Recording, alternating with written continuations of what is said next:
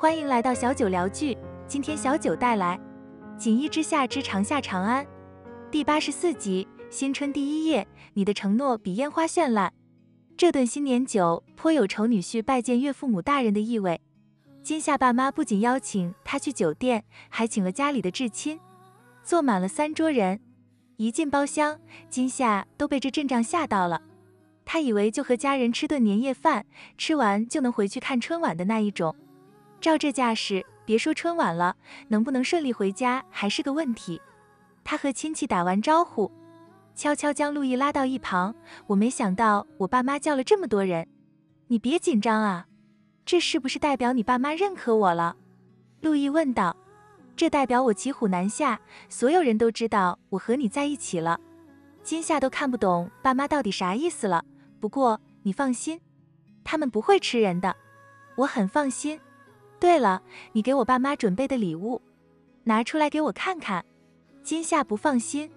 陆毅从随身包里拿出两个盒子，我问过人了，长辈就喜欢金子，给你妈妈准备了一只金手镯，你爸爸的是手表，我都不知道你准备了这些。今夏还以为他准备的是小礼物，一开始也没有放在心上。你花了多少钱？差不多八万，这么贵？今夏讶异道。你不该说贵，你该说值不值？你觉得我买礼物？在你爸妈面前博个好印象，值不值？陆毅换了个角度问道。他们愿意请我吃这顿新年酒，就说明是认可我这个女婿的。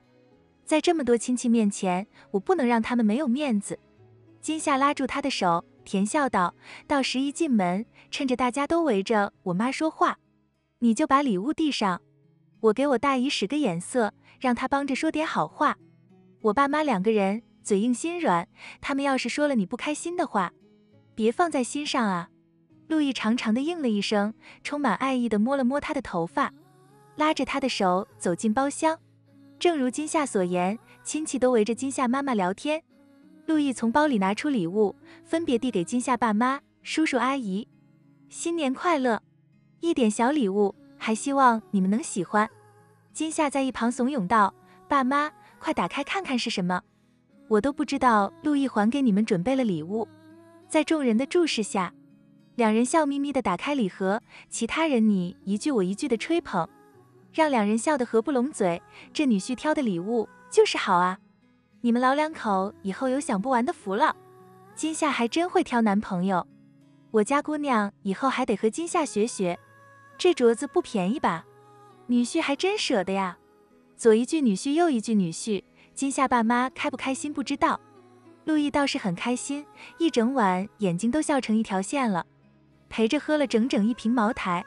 今夏越发觉得他的酒量深不可测，他和白酒一杯倒，陆毅一瓶了，还能和他的叔伯舅舅谈笑风生，邀请他们去上海旅游，礼貌又热情，哄得长辈开心不已。好不容易宴席结束，今夏开车送他们回家的路上。陆毅已经在车上睡着了。金夏妈妈偷偷对金夏说道：“这镯子陆毅花了多少钱？妈妈，你管这些干嘛？他送的，你就带着。那不行，这么贵重，我们可不能白拿人家的。他还只是你的男朋友。”金夏有些生气了，说话声音都高了几分。爸妈，你们想那么多干嘛？他都跟着我回家了，我们很快就会结婚的。他年纪比我大，我不能拖着他。你们要是把礼物退回去，他多伤心啊！金夏爸妈在女儿的怒斥下稍稍安静了一会儿，然后又不确定的问道：“你真和他结婚啊？”“对，明年就结。”“你们别想乱七八糟的事情了，反正我就认他。”金夏果断的说道。他就是不想自己的爸妈犹犹豫豫，一会儿觉得陆毅好，一会儿觉得陆毅不好，他必须坚定的表达自己的想法。明年就结。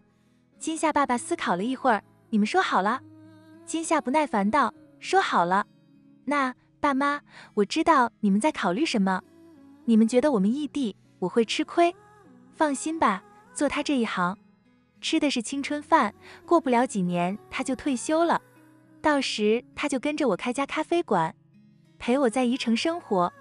再说你们女儿有能力又漂亮，该担心的人是她好吗？金夏爸妈到底还是被金夏彻底说服了，行吧，明年结婚就结婚。金夏这才无奈的笑笑，还好陆毅睡着了，不然这话听了，他估计又要多心。回到家，金夏先送爸妈回房，又转身去陪在副驾驶睡觉的陆毅。他睡着了，他又抱不动他，只能开着暖气陪他在车上睡觉。想不到新年第一夜，他就要在车上睡觉。不过，他心里是满满的幸福。他虽然总说不在意、不深爱。其实有多爱他，只有自己心里清楚。因为深爱，所以很多条条框框都可以打破。就比如他曾经最抗拒异地恋，可如今为了他，他都接受爱人不能时刻在自己身边。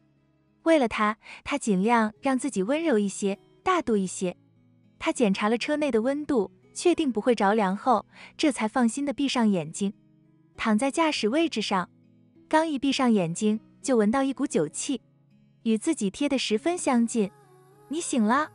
金夏猛地睁开眼睛，就看到陆毅了脸，无法确定他是真的清醒还是暂时的。他心一柔，摸了摸他的面颊，那我们先下车。陆毅摇摇头，眼里全是柔情，嗓音因为酒精的刺激，有些沙哑，听着却格外性感，让人的耳朵微微发麻。我想吻你。他说完，便按住他，在这狭小的车厢里。他的身体靠在方向盘上，这姿势有点难受，却能将他看得最为清晰。金夏正要拒绝，这可是在车内，车身会晃动，四周都是监控，他可不想被人误会他们在车上做不可言说的事。他却不管不顾，含着他的双唇，扣开了他的齿关，在他措不及房间来了一个深深的吻，直到两人都气喘吁吁。金夏关了车上的暖气。太热了，浑身全是汗，车内的温度渐渐降了下来。金夏以为他喝醉了，听话去。我们先下车。陆毅靠在他的肩头。金夏，我有没有告诉过你，我很爱你，要和你在一起一辈子？没有，一辈子这么长，谁好意思挂在嘴上？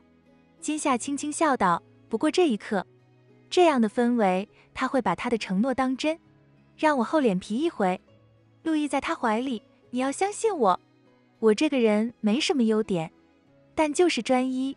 金夏笑着揉着他的头发，那我就相信你一回，用我的一辈子做赌注，去相信你一回。爱你的时候，你说什么我就相信什么，哪怕你说要把天上的星星摘给我，我也会相信。新年了，周遭却静悄悄的，政府为了环保，禁止燃放烟花。金夏却觉得他的四周无比热闹，只因他的承诺比那烟花还要绚烂。他已经在他的眼睛里见到了最美的烟花，是紫色的、粉色的、蓝色的。